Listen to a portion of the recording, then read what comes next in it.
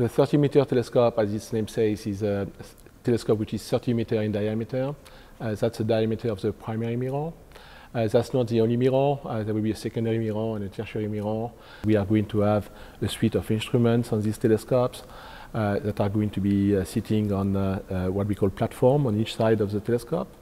And the light will be reflected from the tertiary mirror. Sometimes in order to answer big questions like how was the universe formed, what it is made of, um, trying to understand our place in the universe ourselves, okay, are we alone?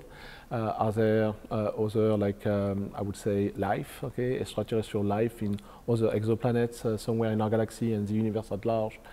you need to make big steps for that, okay?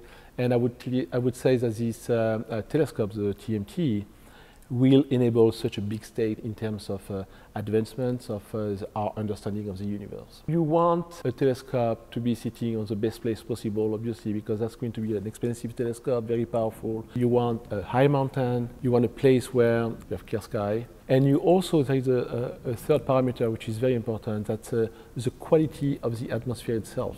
A place like Mauna Kea, for instance, combines the three. Okay, so you have a high percentage of clear night, it's quite high, and at the same time, the quality of the atmosphere is superb.